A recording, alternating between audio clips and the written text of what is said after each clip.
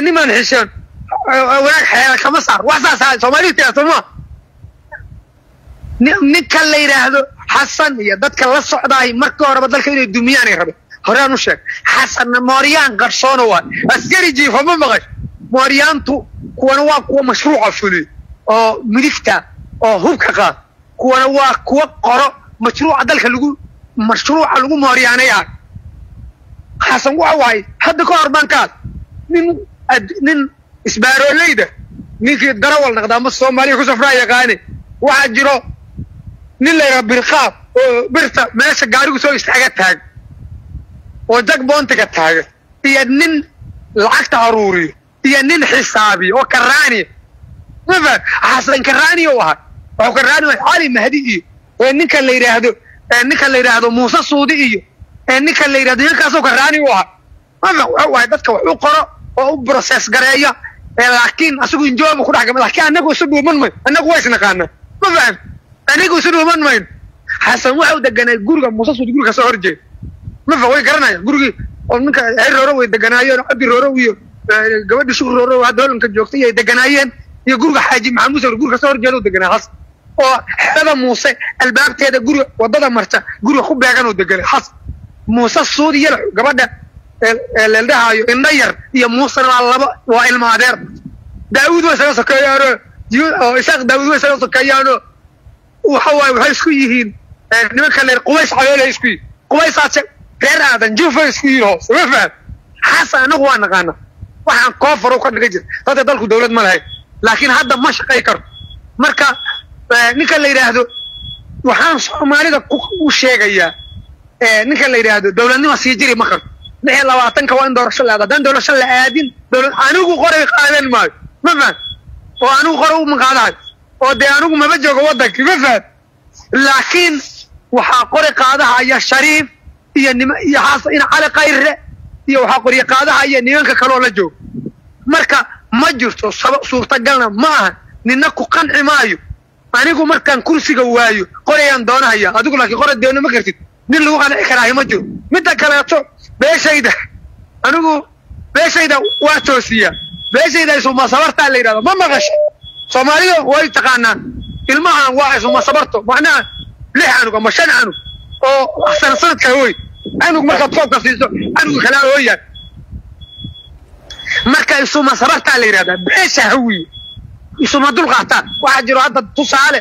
Dani markii doorashadii meesha ka dhacaysay waa la isu qaqabsaday laakiin daaradu waa isu tanaazuleen ma faham digilya minifle waa isu tanaazuleen oo marka cabdicasiis lafta garee meesha la keenay maalin rabshado way dhaceen laakiin wixii ka dambe waa la isu tanaazula ninka la yidhahdo isaaq sidoo kaleeto beesha hawiye waxay dhaqankeedu yahayba.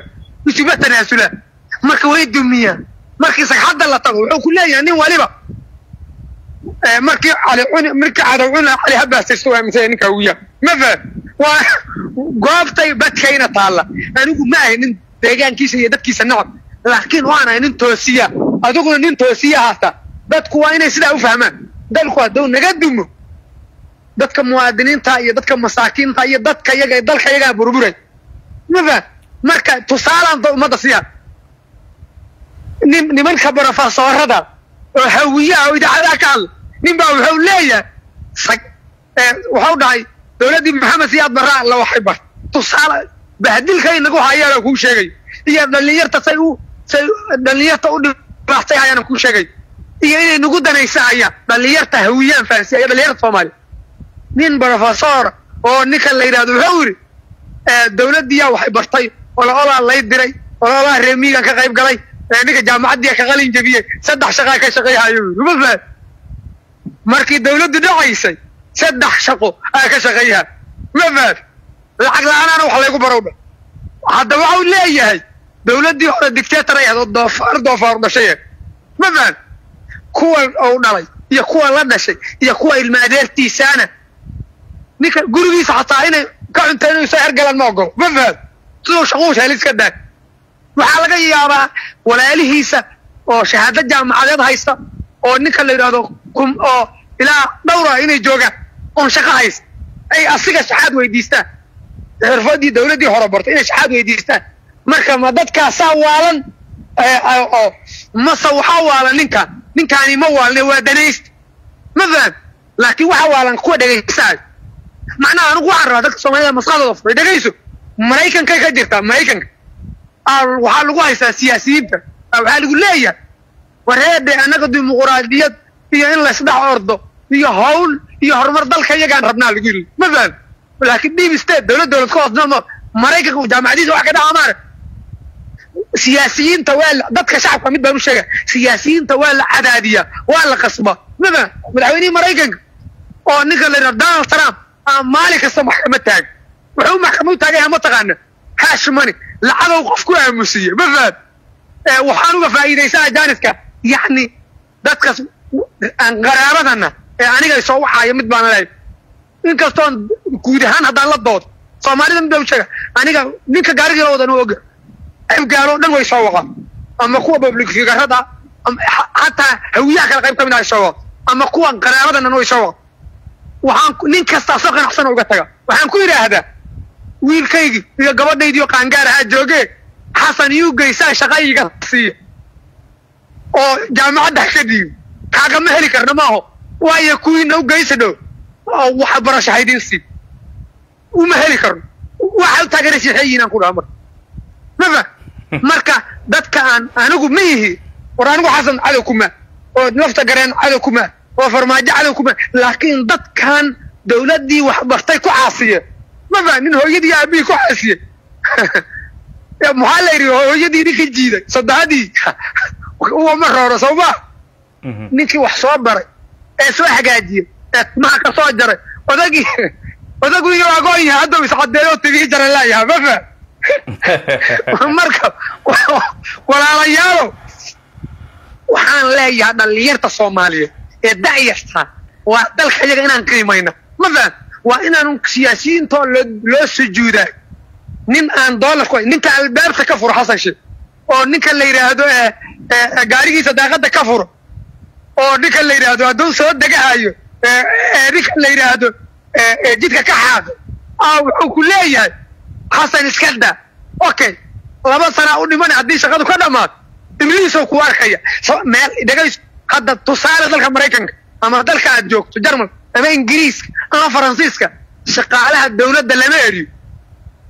Ma faham sababtay taa waxaa ka jira dowlad sharci. Moogta ninkii ilaali jiray gabadhii la dhihi jiray angela market aa ilaaliya johnson larka hadda ninkii madaxweyne biden trump ilaali jiray iyo ninkii ilaali jiray ninka la yidhaahdo ninkii magaca lahay staffka ilaali jiray dadkii ilaali jiray ninka la dhihi jiro obama aa hadda biden ilaaliya sababtay taa dowladnimadaa salka dhulka ku hayso oo dowladnimadaa fadhida. Ma faham ninka xasan albaabta ka furaayo xasan hadduu tahay waad raacaysa. Sababtay taa meesha waa meel qabyaalad ma taas baa isku diidanaa soomaaliyeed. Marka anigu war mustaqbalkiina waayo waxaan ka fikiraaye aniga nololna waa haysanaa macallinka iyo aniga dadka nabadmida inkastoon waddanka yagii dhibaata ka jirto oon dareemayn oona sida xasan iyo dadka la joogaan dubla-aan diirla-aanan ahayn. Laakiin nolol aan ku noolaana waa haysana ma faham waxbarasho ilmaha iyagu waa haystaa laakiin waxaan u dagaalamaynaa waa mustaqbalka ummadda waxaan ku koodgaray oon ku gabangabayahay dalku wuxuu u baahan yahay dhalinyaro. Revolution kacaan dhalinyaro u baahan. Haddii kacaan la waayo labaatanka sana soo socota tusaale dadka dadka na hogaamiya waa kuwii isbaaraysa jira waa tuugadii waa kuwii jeelalka ku jiri jira waa waxmagaraasadii waa dadkii gacanta laga hayi jira ma faham? Marka suurtagal ma ahan inuu hagaago. You know qof malaria hayso xanuun baabiya inay ku raysa tahay lagama yaabo. Xoogaa yaray kabaabyohaysaa xoogaa yaray madaxa soo qaadaysaa labatan sac kadib xanuunkiyaa kuso waa kulaylkiyaa ka baxaya xanuunkii lul haday gelaysaa marka dadkayga waxaan leeyahay war sidani kuma juri karnee dhalinyarta soomaaliya aan wax ka bedelna dembiilayaasha gacan ku dhiiglayaasha oo xasan sheekh ka mid iyo xawaalo qodahaana aan iska qabano gul baana ku rajaama wixii aad weyn aad iyo aad buu u mahadsan yahay yuusuf wadani ayuu ahaa oo stuudiyaha warbaahinta southern media corporation inoogu warramayay waa nin wadani ah. Haddii qabiil loo baahdana waa nin cali gaaf ah oo xasan sheekh maxamuud ilma adeerra ay yihiin oo wacaysla ah oo hiraab ah oo hawiye ah yacni hawiyaha dad fiicanaa ku jira. Laakiin qabiil walba hadda tuugadiisaa soo hormartay. Dadkii wanaagsanaa gadaal bay jiraan. Yuusuf waan u mahadnaqaynaa. Beesha duduble ee maxamuud hiraab. Shir ayay ku qabanayeen magaalada muqdisho maalmihii ugu dambeeyey. Waxay tilmaameen in xasan sheekh maxamuud iyo dowladdiisu ay bartilmaameedsadaan beesha duduble. Xamar baana lagu dilay dheheen goboladaana lagu dilay dheheen laakiin cagsiga beesha duduble dowladdii farmaajo dadka la dagaalamay ahaayeen oo xasan sheekh maxamuud iyagaa dhaqaale siiyey doorashada uu ku soo galay. Maantana waxay leeyihiin isaga farmaajaa ficnaa dadku hadduu dilaayana uu wada dilaayey haddii kalena uu simaayey laakiin dowladdan annaga taargadaan u nahay. Waxay ku dareen marka cabashadooda. Nimay dhahaan cabdullaahi maxamed guuleed oo duduble u dhashay ayaa lagu dilay bay dhaheen gobolka shabeellada hoose xaruntiisii magaalada markacadday. Haddaba dabagal baan ku samaynay annaga haddaan macnihi warbaahinta s m c aan nahay qofka qabiilku doona ha ahaado haddii gardaro lagu dilana waxaan isku daynaa inaan soo sheegno haddii gar lagu dilana inaan soo sheegno. Labadaba waa kan hadda aadan madoobe inuu guri dad ku dhegan yahay eeraboorka laaluush uu ku qaatay dastuurkii aanu sheegaynay. Hadda waa adeerkeenna. Xaqana waa xaq midab iyo magac toona male sidaa awgeed ninkan ay leeyihiin waxaa lagu dilay xarunta gobolka shabeellada hoose marka ee mayland oo la yidhahdo cabdullaahi maxamuud guuleed sidee loo dilay? Habeen dhexdaasa goor habeena ayaa la dilay ninkan horta. Iyagu ma sheegin sida loo dilay anaa sheegaya waa nin weyn sawirkiisa xataa waa la ii soo diray. Ilaahay ha u naxariisto. Marka duleedkeeda ayuu ka soo galay meel ay fadhiyaan ciidamada dowladda federaalka soomaaliyeed oo loo yaqaano guutada afar iyo tobanka oktoobar oo taliyana uu ka yahay weliba nin abgaala oo nuurfaray ay dhahaan. Ninkaasi meesha uu ka soo galay wuxuu ahaa waxay ahayd meeshaasi waxay ahayd meel al-shabaab marka ay magaalada arbushaada ay ku soo qaadayaan ay soo maraan. Waa lagu khaldamay marka. Waxaa loo qaatay shabaabkii oo magaalada soo arbushi raba oo kale. Sidaasaa loo dilay laakiin inay sidaas u sheegaan ay u caddeeyaan way ficnaan lahayd. Waxyar wacalaykum salaam. Waxyar ma ii kaadi kartaa? Ma fahmaysaa?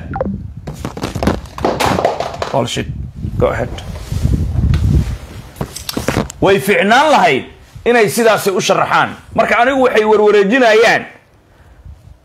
Macnihii reer markaa naga dilay qof haddii gardaro reer marka ay u dilaan nin dudublaana waa sheegaynaa bikaas mahad salaad oo la shirqooli rabo oon mucaarad ku nahay ama sheegayn waa la dili raba ayaan dhehayni xasan sheekh maxamuud oo la dili rabaan sheegayn oo mucaarad aan ku nahay.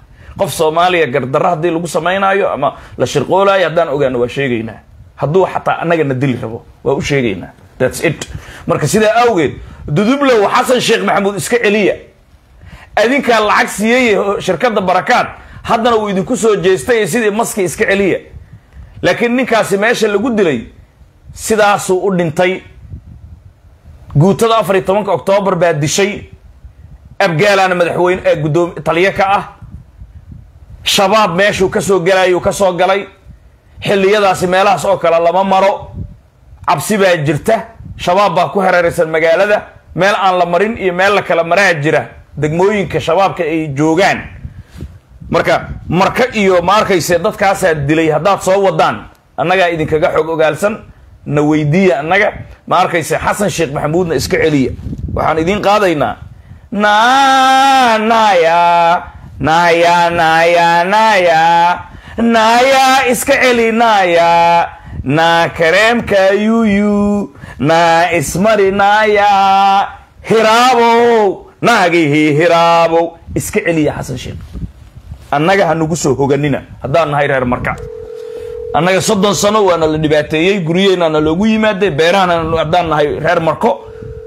Hadda ma fahmaysaa? Annaga dad gardaro uma dilno. Qofka ugu dambeeya salaada maqribkaan aadi rabaa soo dhawow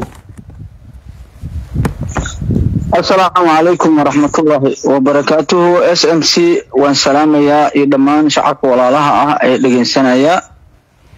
Waxaan rabaa inaan ku darsado qoraalka fahad yaasiin su'aasha uu soo bandhigay iyo jawaabta uu ka bixiyey horta waa waa sida saxda ah ee jirta weeyaan.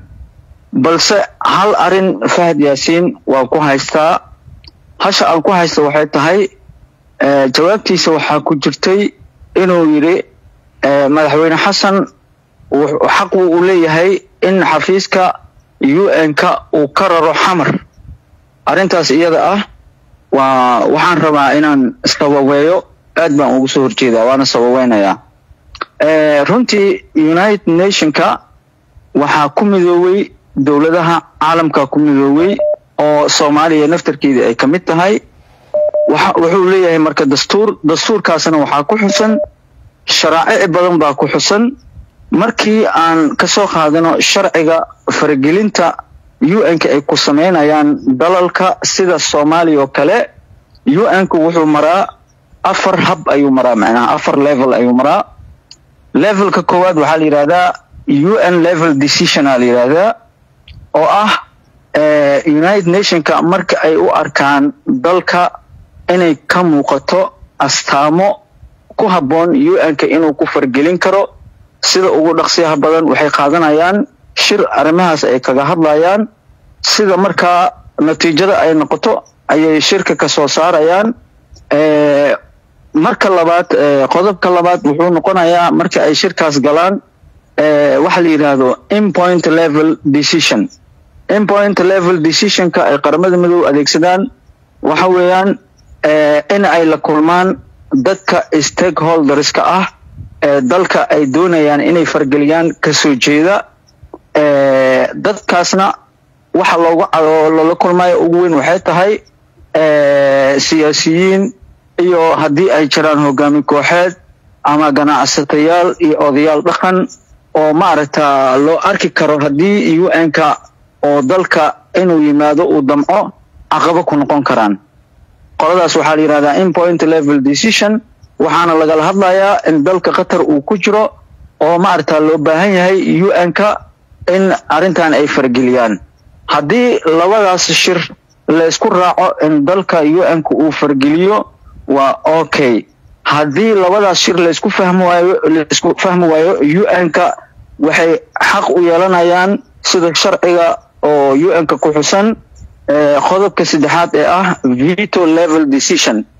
Inay go'aan awood ah ay qaataan oo sidaa darkeed dalka ay ku maaragta ay ku fargeliyaan. Si loo badbaadiyo dadka maaragta rayidka ah ee arrimaha dalka ka jira khatarta badan ee ka soo gaarayso runtii dadka soomaaliyeed un-ka wuu la kulmay wuu u bandhigay waa laysku raacay in dalka dowlad kumeel gaar loo dhiso waa loo dhisay un-kana wuxuu isku raacay un-kana wuxuu ogolaaday dhaqaale iyo inuu ka caawiyo securityka ilaa maaragta laga gaaro macnaha national development heerka loo baahan yahay. Runtii dowladdii kumeel gaarka dalka soo maray un-ka wuu ka garab shaqaynayay dhaqaalaha uu bixinayay securityka wuu ka caawinayay. Wax badana la soo maray waa laysu soo bedelay kursiga. Heer waxaa la gaaray in loo gudbo national independence in loo gudbo. National independencyga independencyga la rabaa marka in la ogaado kan soomaaliya hadda ay haysato nooca uu yahay. National independencyga waa laba nooc. Markii loo gudbo national independence waxaa loo kala saaraa qaybta hore oo la yidhaahdo bare national independence oo maaragta muxuu ahaaye recovery. In maaragta dalka madax banaanida qaab macnaha dalka leadershipkiisa ma ku habboon yahay in la madax baneeyo dalka un-ka arrintaas wuu fiirinayaa. Haddii oo dowladdaas ay ka gudubto qodobtaas waxay u gudbaysaa post national recovery independence ay u gudbaysaa marka. Waa waa ku guulaysatay madax banaani buuxda ayay heshay. Marka soomaaliya hadda weli waxay ku jirtaa pre national independence ay ku jirtaa. Awood uma lahan inay ka ceyriso xafiiska qaramada midoobey dalka inay ka ceeriyaan. Laakiin waxay awood u leeyihiin inay ceeriyaan qofka representative-ka ah haddii ay u arkaan inuu carqalad maaragta ku yahay oo weliba sharci ah ayay dowladda awood u yeelan kartaa. Laakiin xafiis inay eriso macnaha arrin fudud maaha. Sababtoo ah un-ka marka ay dalka soo galayeen waxay ku soo galeen shuruudo oo la saxiixay. Shuruudahaas qaybna waxaa iska leh un-ka iska leh. Qaybna waxaa iska leh dalkaa iska leh oo maaragta oo la fargelinayo labada dhinacba shuruudahooda ilaa laga gaaro heerkii